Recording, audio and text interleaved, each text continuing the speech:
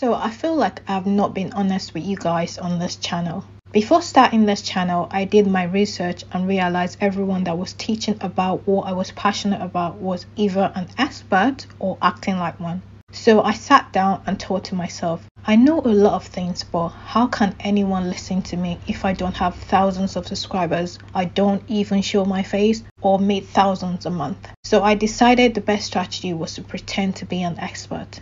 I know, I know, stupid, isn't it? Don't get me wrong, I know what I'm talking about, and the strategy that I teach on here are things that I'm doing on my channel right now, and also this channel that I grew to 3,000 plus subscribers and was making a decent money from affiliate links. I learned how to grow a YouTube channel and also make money with affiliate links, even though the channel was really small, by doing courses and also researching, which I'm going to show you later.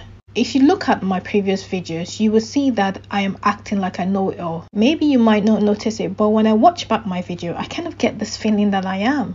Well, while I was researching how to better my content, I came across this guy's video right here, where he really explained knowing your audience and the benefit of being authentic, which I never understood until watching this video. I have never seen anyone on YouTube talk about it like this. And believe me, I do a lot of research, learning, and watching a lot of videos. Feel free to go watch the video after this. I will leave the link in the description. Anyway, he made me realize that being a YouTuber is really understanding your audience, which means understanding their interests, whether they're black or white or even both, and also key details of what is important to them. He said that's what you need if you really want to help people and then build a successful business out of it. At least that was what I understood of his explanation. Though I knew this before because I did this course which taught me everything I know about YouTube and also I did Andy Affel's course. Not sure if you know those people but Sunny and Andy are really big YouTubers. Feel free to go check out their channel. I'm going to put it on the screen for you. So I do know a lot of what I'm saying and I've invested what I might call a lot of money to learn. Learning this helped me grow my first channel to 3000 plus subscribers, which was where I was making a minimum of $165 plus just from one video. The AdSense for this channel was terrible. I almost gave up. It was really bad. Then I discovered affiliate marketing, which was how I made my money. If you look at this channel, you will see that there's no videos. That's because I deleted them all. I did this because the videos that was making me money and growing my channel wasn't the kind of things I wanted to be known for. That is why when you're starting out, it's important to not just make videos for the sake of views and money if you really want to be a genuine YouTuber.